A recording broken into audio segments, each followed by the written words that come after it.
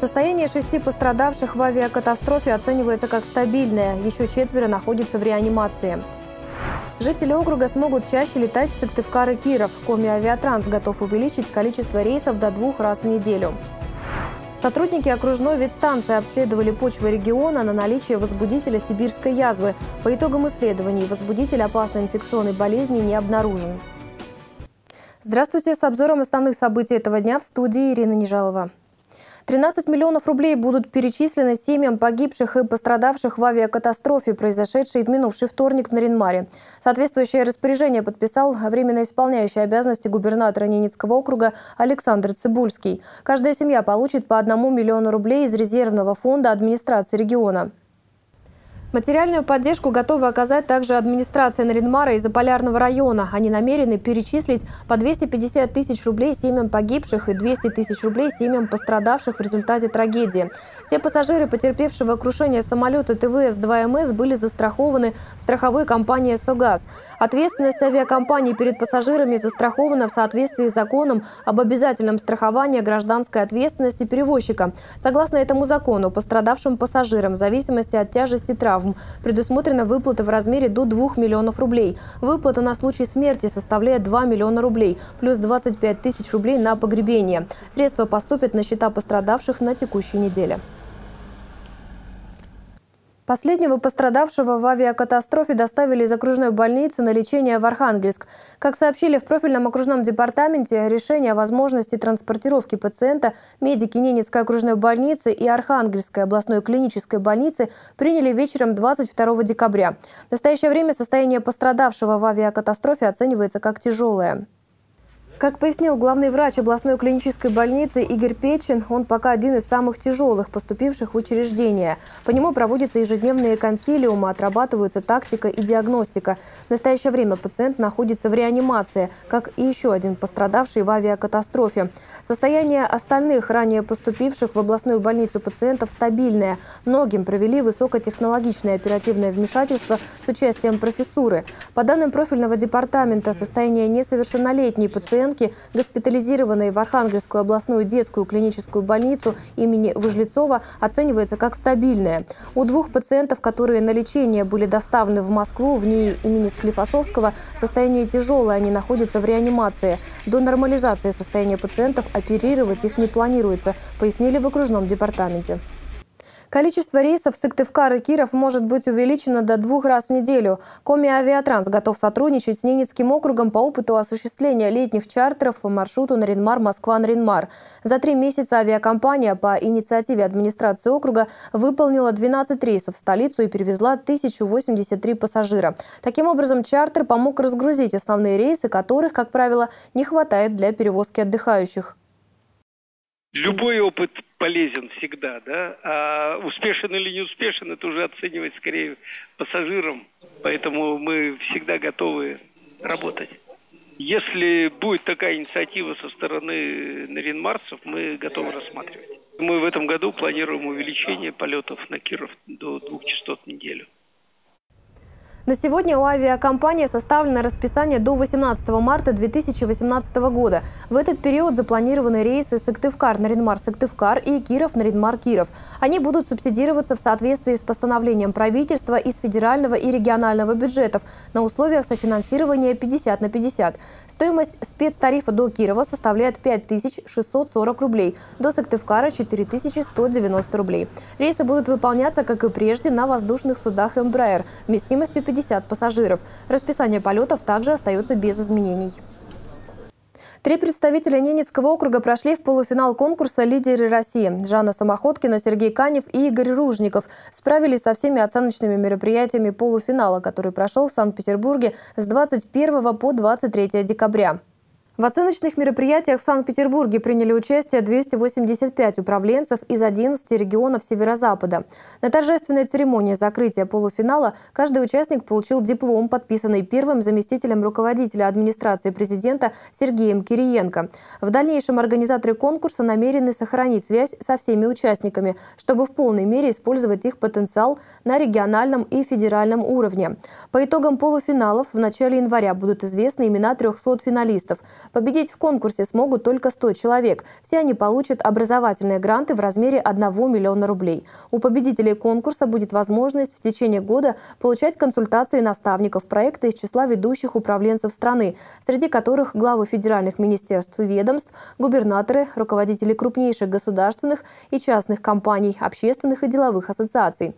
Конкурс организован по инициативе президента России Владимира Путина и является флагманским проектом открытой платформы «Россия – страна возможностей». Более 12 миллионов рублей будет выделено на обустройство и содержание зимника «Харивир Мусюршор» в рамках соглашения о сотрудничестве, заключенного между администрацией Ненецкого округа и компанией «Лукойл». Вопрос о финансировании мероприятия рассмотрели сегодня на заседании администрации региона.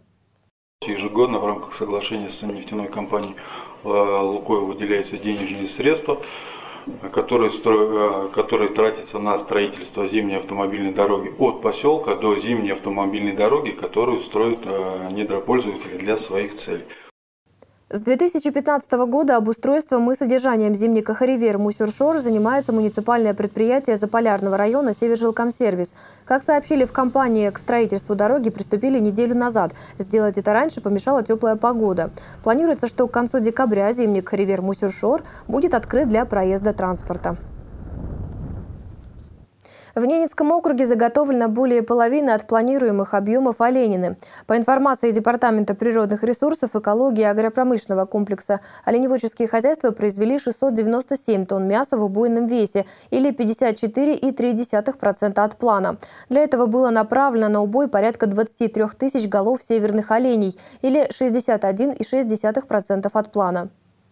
Как отметили в профильном департаменте, на сегодняшний день шесть хозяйств уже завершили убойную кампанию. Это СПК «Путь Ильича», СПК «Красный Октябрь», СПК «Колхоз Ерв», СПК «Харп», СПК «Заполярье» и ГУПНАУ «Ненецкая агропромышленная компания». Убой в эти дни продолжается в СПК «Колхоз Ижемский оленевод и Ко», СПК «Дружба народов» и СХПК «Ненецкая община Канин». Остальные хозяйства планируют убой позднее в силу ряда причин, в том числе из-за отсутствия стабильных отрицательных температур. Всего в предстоящую кампанию на убой собой планируется направить 38 200 голов северных оленей. Это позволит произвести до 1,3 тысяч тонн оленины.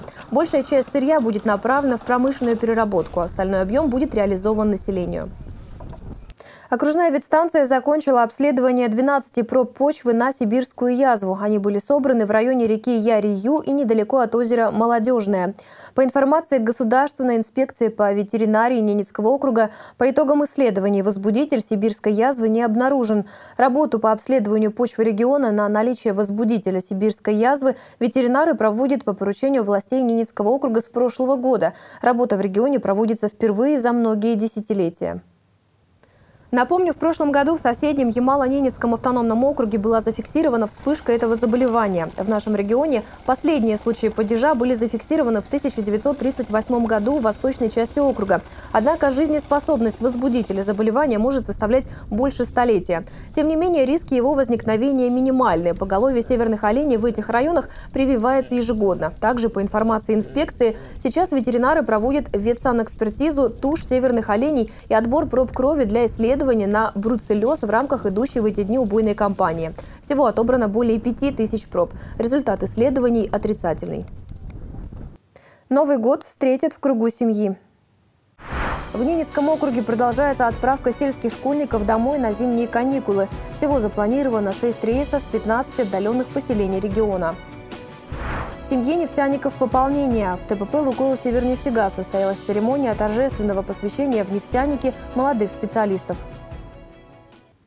Ненецкий округ попал в список 52 регионов пилотной апробации демонстрационного экзамена по стандартам World Skills Russia в рамках государственной итоговой аттестации по образовательным программам среднего профессионального образования. При отборе регионов учитывался опыт проведения в субъекте региональных чемпионатов, демонстрационного экзамена в текущем году, участие в реализации проекта по внедрению регионального стандарта кадрового обеспечения промышленного роста, наличие у колледжей статуса специализированных центров компетенции конференции WorldSkills и готовность предприятий в регионе к участию в организации и проведении таких экзаменов.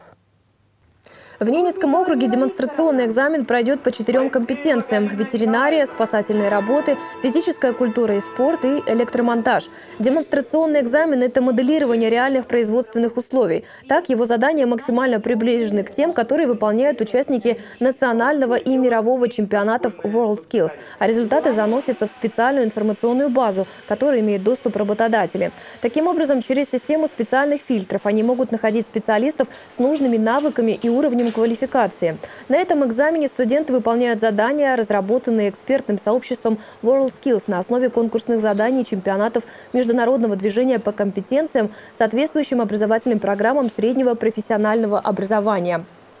WorldSkills International – это международное некоммерческое движение, целью которого является повышение престижа рабочих профессий. Ненецкий округ стал официальным участником движения в октябре 2016 года. Соответствующее соглашение было подписано с Союзом «Молодые профессионалы». Региональным координационным центром движения стал Ненецкий региональный центр развития образования.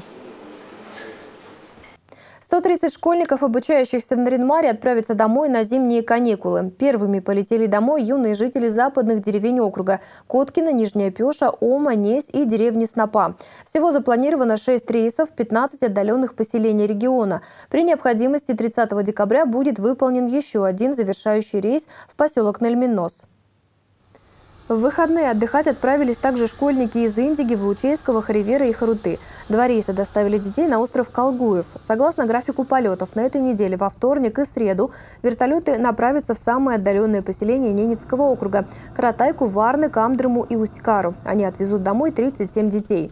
Школьный вертолет поднимается в небо дважды в год – на летних и зимних каникулах. Обратно на учебу школьники из поселений начнут возвращаться 8 января. Завершить кампанию планируется 11 января. Ежегодно администрация Ненецкого округа выделяет почти 25 миллионов рублей на организацию школьного вертолета. Финансирование кампании по доставке школьников домой на каникулы помогает совмещать получение детьми современных знаний в учебных заведениях с сохранением традиционного образа жизни на Крайнем Севере. Пообщаться со звездами спорта, взять уроки мастерства у профессиональных хоккеистов и просто окунуться в атмосферу Олимпийского Сочи. Такую возможность получили порядка 20 ребят из Наридмара. Сегодня юные игроки местного хоккейного клуба «Полярные волки» вернулись из образовательного центра «Сириус». В аэропорту школьников встречали как героев.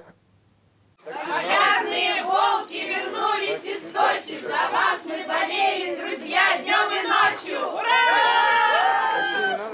На берегу Черного моря юноши провели почти месяц, причем абсолютно бесплатно. За это время успели завоевать различные награды. В частности, стали вторыми на Кубке Сириуса. И вот что хоккеисты рассказали нашей съемочной группе о своей поездке в образовательный центр.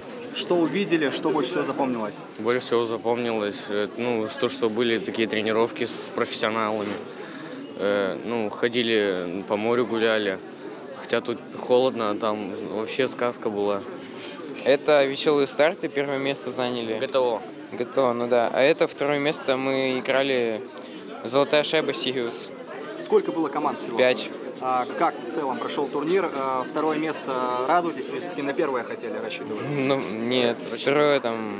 Ну, на первое не рассчитывали, потому что там очень сильная команда была. Там было две команды из Московской области, две, одна команда с Уфы и Башкоростан. У тебя три медали. Почему три? У ребят две, у тебя три. Одна за хоккей, одна за место в ГТО, а другая за командную игру. То есть, получается, по ГТО вы стали самыми лучшими? Да. Ожидали сами или нет? Да, ожидали.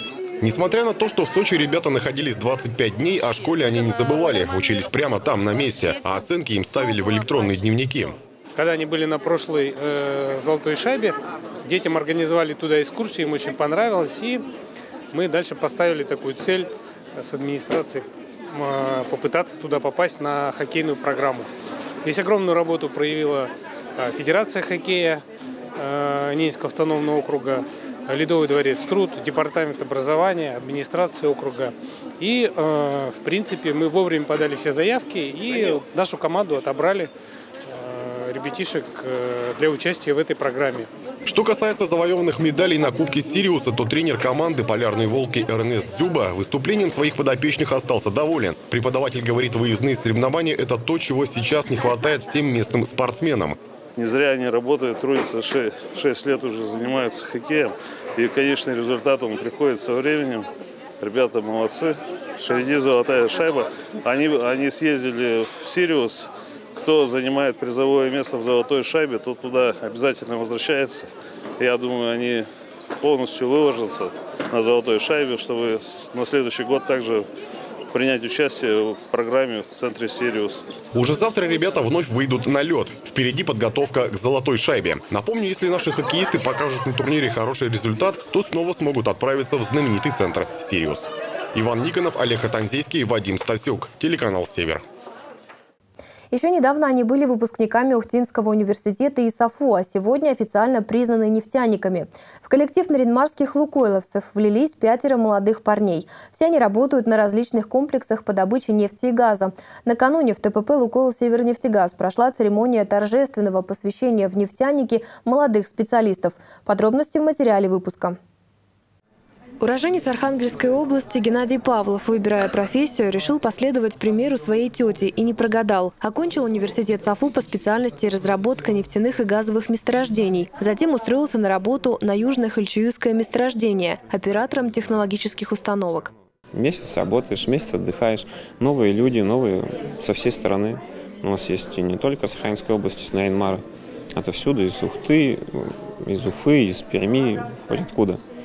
Все равно тоже интересно пообщаться с другими людьми, что-то новое узнать. Ну, работа нравится? Работа мне, работа мне нравится, а выбором я не разочарован своим. В ряды нефтяников Геннадий был принят в 2015 году. Сегодня он с ностальгией наблюдает за тем, как происходит торжественное посвящение в специалисты по добыче и переработке нефти новичков. Евгений закончил Уктинский государственный технический университет по специальности технологические машины и оборудование. В настоящее время оператором по добыче нефти и газа третьего разряда на Бородейском месторождении. Уроженец Архангельска Евгений Заборцев признается, о работе нефтяника и не мечтал, но судьба предопределила его выбор. Мы проходили практику здесь, и после прохождения уже армии я подавал резюме и устроили, предложили. Ну, а что тебе больше всего нравится в твоей работе? Романтика. Романтика? Да. А, что, а что, в чем? Ну, вахтовый метод, то, что далеко от города. Сегодня Евгения и еще четверых молодых парней официально посвятили в нефтяники. С напутственными словами к ним обратился руководитель ТПП Николай Новожилов. Сейчас все зависит от вас. Насколько вы будете саморазвиваться, расти профессионально, учиться, настолько будет быстрый карьерный рост. «Лукойл» – крупнейшая частная нефтяная компания в России, одна из крупнейших в мире. Она открывает большие перспективы и возможности тем, кто готов работать на благо компании и добиваться профессиональных успехов. Ирина Нежалова, Антон Водряков, телеканал «Север». Такова информационная картина этого дня. Мы следим за развитием событий. Наши новости можно увидеть на сайте www.trksever.ru. Далее смотрите прогноз погоды.